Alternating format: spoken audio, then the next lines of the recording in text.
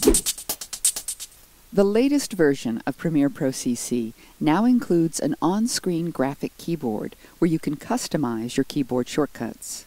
To open the on-screen keyboard, go to the Premiere Pro CC menu and choose Keyboard Shortcuts.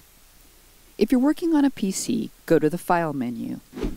Since we're going to make some custom changes to the keyboard, go to the Keyboard Layout Preset pull-down menu in the top left corner and choose Custom if it's not already selected. The keyboard that's displayed shows you what each key currently does without using any modifier keys. To see what the modifier keyboard shortcuts are, press a modifier key. I'll press the Command key, and now you can see the keyboard shortcuts available when using the Command key as a modifier. The Command key turns blue, letting you know that's the modifier you're pressing. You can see the other modifier keyboard shortcuts by pressing the Shift, Control, and Option keys. Some keyboard shortcuts require two modifier keys, so if I press Command and Shift, I can see the keyboard shortcuts available using those two modifier keys.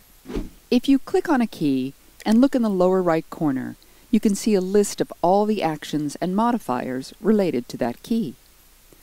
The modifiers that don't have a command associated with them aren't being used. You can see that there are three color categories, purple, green, and gray.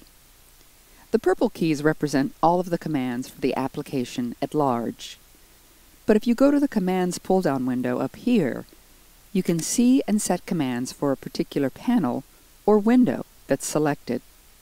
So if I choose Capture Panel from this list, I can see the green keyboard shortcuts that are available when the Capture panel is selected. So if there's green and purple on a key, and I hover my mouse over it, I can see the shortcut for the purple Application at Large option, as well as the key command that is specific to a particular active panel. If you want to find a specific command without clicking on or hovering over each of the keys, you can type the command into this search field, like audio crossfade, and it will appear in the command list.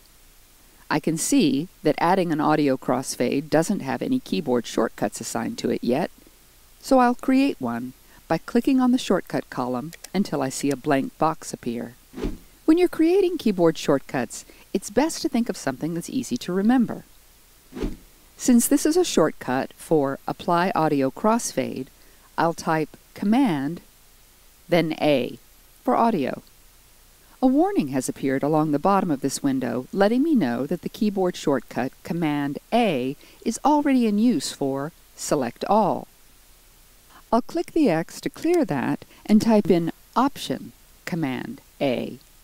And there isn't a warning, so I can use that shortcut. But if I don't want to use two modifier keys and instead I type in Shift A, I get a warning that says that shortcut is already being used for the Track Select Backward tool command. It also says that if I choose this, the original Track Select Backward tool command will be overridden by this panel command when the panel has focus. I don't actually use the Track Select Backward tool command very often, so that's fine. I'll come up to the top of this window and click on the Save As button, type in a name, and then click OK. Finally, I'll click OK in the lower right corner to close the Keyboard Shortcuts window, which will save and apply my changes. Now when I come back to my timeline and click on the edit point between these two clips and press Shift-A on my keyboard, an audio crossfade is added, and I know that my custom shortcut works. A nice feature is that your custom keyboard is now tied to your Adobe account, so wherever you log in to use Premiere Pro, you can access your custom keyboard shortcuts.